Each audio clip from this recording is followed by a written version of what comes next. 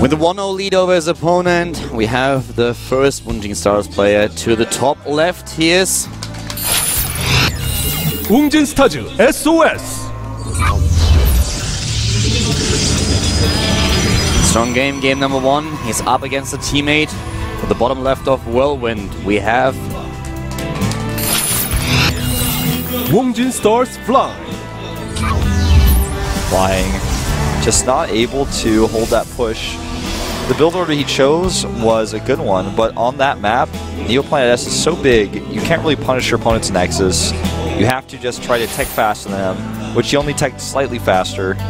So just, he was in a bad spot to utilize his tech advantage, and then he did not micro as well as SOS did. Yeah, it was really an interesting game, and this is just what we echoed already earlier. Flying is a little bit under pressure here, and SOS with a very strong uh, game one. If he can uh, surprise Flying once again, maybe, then he would be able to advance to Code with a 2-0 victory. He has played a very strong Code A season, and I have to say that to me he's the favorite player here with the additional experience that he has, and also he just makes a much more confident impression when you see him in the booth. Yeah, completely agree. In this matchup, he just he seems to have it a little bit more figured out, despite the fact that Flying has shown such great play in other matchups in the past, especially when players were first switching over. See if he can carry this on. He was able to advance all the way to the round three, so you have to give that to him as well. Not, yeah, And of course, one of the things that you kind of wanted to avoid, which both of those guys have been able to achieve, is just not falling into Code B. Uh, this Heart of the Swarm transition is one of the things that we point out several times, but it's just so important. And if you suddenly have to play the Code A qualifier again in Heart of the Swarm, it's so much more difficult for you to actually win it because there's so many new strategies out there, and you will always be blindsided by a newest tactic that you haven't seen yet. Yeah. And, you know, just going into uh, what you talked about before with Heart of the Swarm and how important it is, it's it's just something that's undervalued, I feel, by people who are fans of StarCraft 2 right now. These two players that are playing in this match, it's assumed that they're practicing a lot of Wings of Liberty, but they may actually not be playing Wings of Liberty at all because they feel in the long run it's much more important for them to be playing Heart of the Swarm right now. We don't know.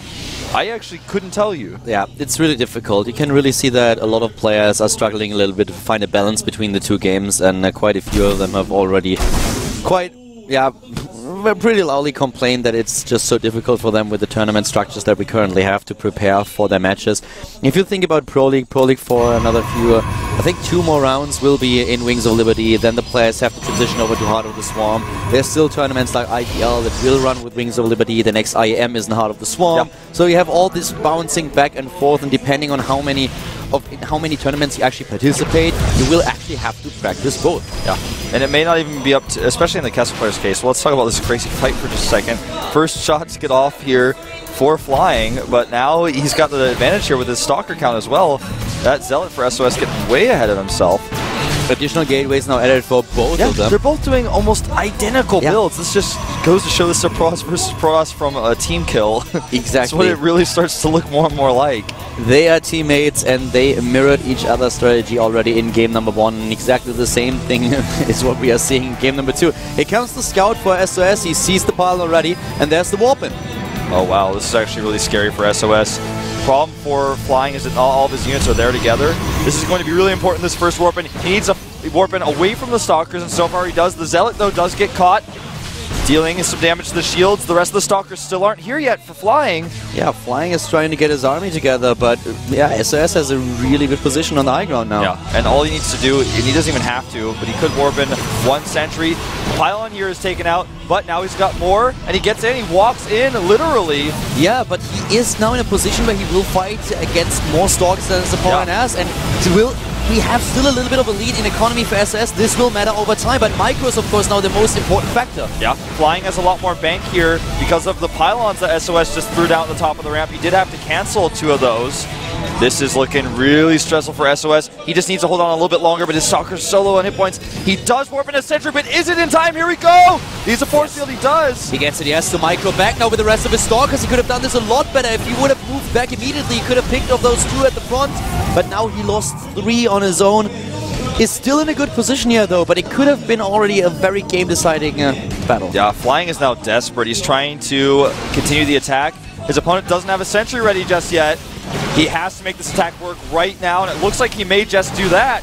He has the Stalker advantage. SOS warps in a few more units here. He might be able to push through. He took down the sentry already, and SOS is in a little bit of trouble here. Another round of warp-ins for Flying. He needs another sentry. SOS does. He's still on cooldown with his warp gates. He's chrono boosting them. He warps into Zealot. He's trying to block the ramp with those probes. These are the extra probes that he had. He's still a little bit ahead, but he loses mining time. And so many Stalkers now for Flying. Flying is going up the ramp. He's taking it. Excellent micro here by Flying. It looks like SOS is going to have to go into a game three here. Last of the Stalkers starting to fall, and he is just ignoring the probes and Zealots, only targeting the Stalkers. Really great micro here. He still has five Stalkers. He can warp out, warp in another round of units. This is exactly what he does. He's up to seven now. He's walking into the main base. That's just way too much. And SS, he types GG. GG indeed.